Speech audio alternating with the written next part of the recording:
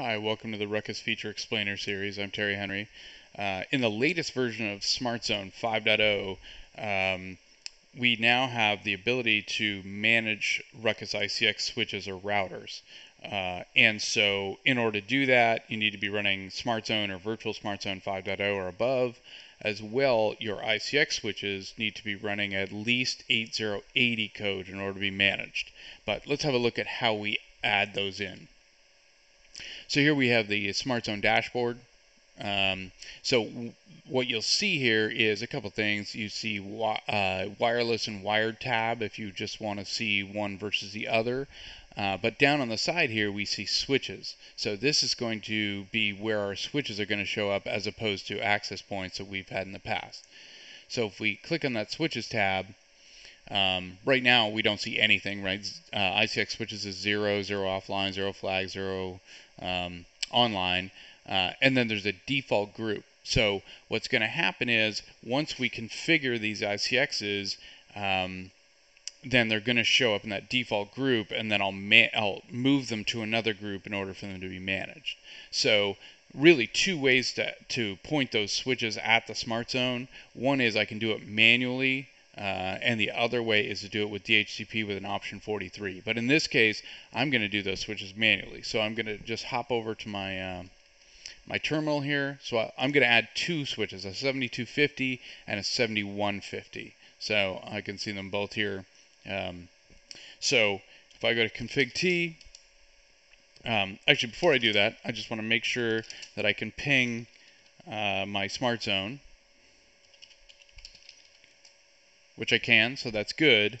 Uh, so then we'll go into config T, and I'm going to do an SZ uh, active dash list, right? And then we're going to add the IP or multiple IPs, uh, depending on how many smart zones you have.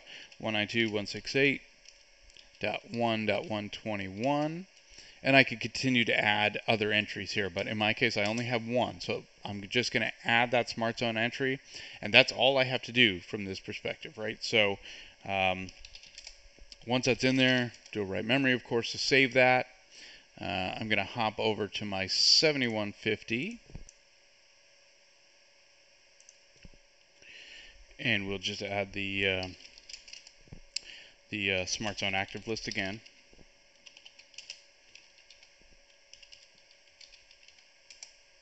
Okay. And uh, so what we should see here is if we do a show log, um, in the show log,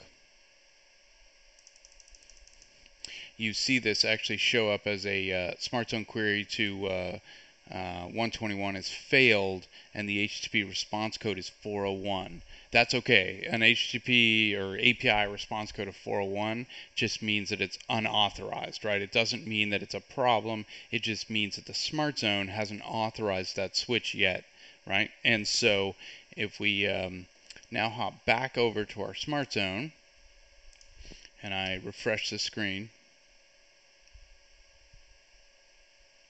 we now see our two switches uh, waiting in the default group, right? So they show as offline. They're not actually offline. They're just not authorized yet, right? So we don't know the switch name. Um, we haven't read a lot of information off of those. We don't know how many ports they have or the port status, etc. So what we got to do in order to make that work is we need to add a new group. Um, so we're going to add a switch group. You can call it, uh, you know, whatever you want. Switch group one in this case add a description if you like, but we're just going to add that. So here's switch group 1, and then we're going to uh, go back into our default group and select these guys and then move them to switch group 1.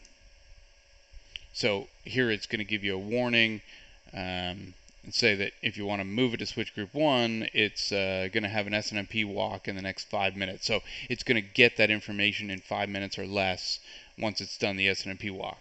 So I've moved one, going to move the other, just switch group one, same thing is going to happen.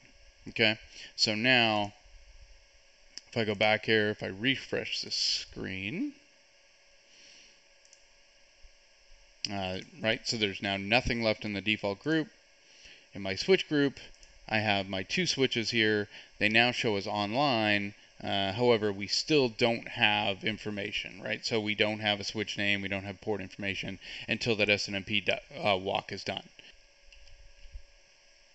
Going back and looking at the uh, at the command line, um, you'll see that it actually did a, a, welcome to virtual smart zone. So when we move those uh, switches to the other group, you'll see them both come up as welcome to virtual smart zone uh, when virtual smart zone actually you know authenticated to those devices. Uh, we can also do a show SZ status. Um, and under show SZ status, uh, it's now saying that it's uh, it's in a connected state.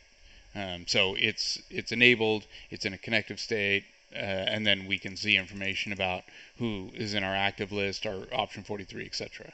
Um, and you can see under SSH tunnel status, we could see that there's a uh, an established tunnel to tunnel that information back to um, back to the uh, the smart zone controller.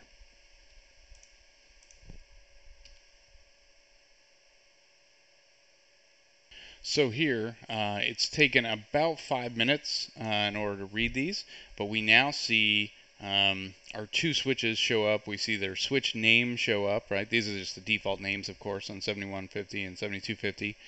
Um, and we also see now the number of ports and the port status populated, right? So um, we're, we're going to have more information available to us in the lower tabs here that so this is phase one, right? So in the next phase, then we'll be able to have full manageability. But right now, it's mostly about um, monitoring and uh, and firmware backup and, and upgrade, etc.